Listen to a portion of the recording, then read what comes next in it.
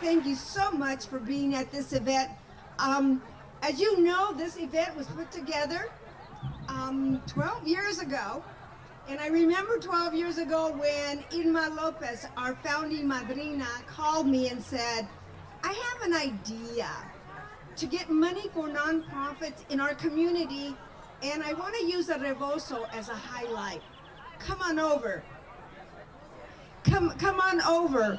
And um, everybody knows when Irma says, and says anything, we all listen.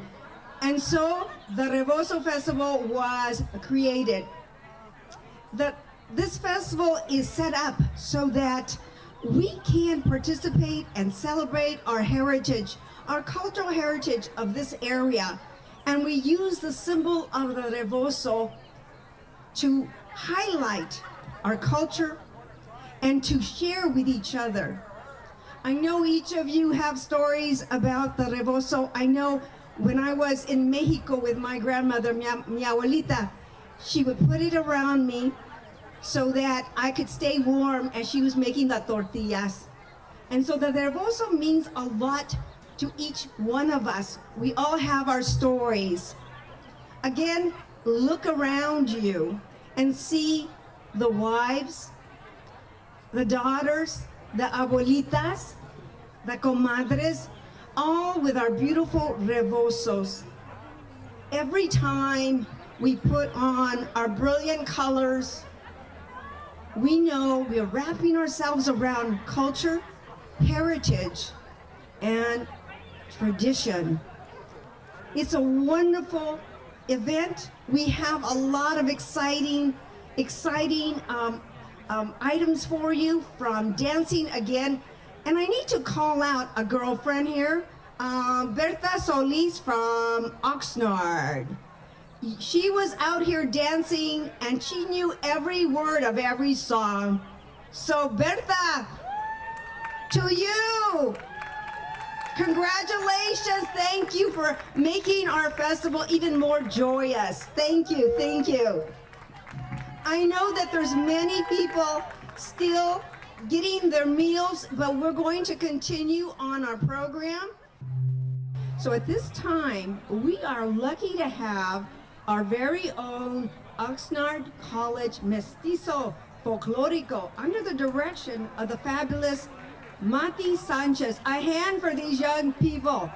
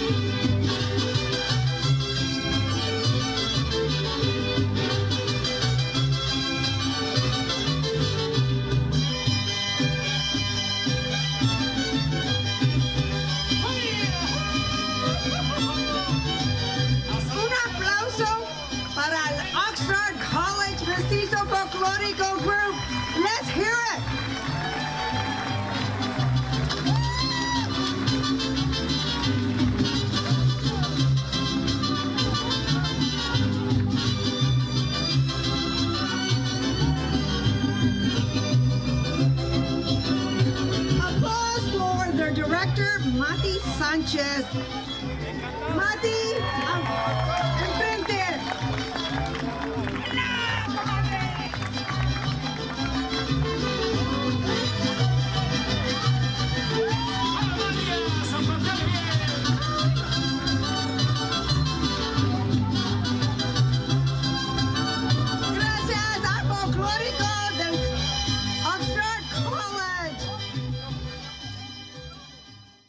In the community, a production of the Heritage Media Group. Stay tuned now for more coverage of the 2016 Rebozo Festival here at the beautiful Camarillo Ranch House.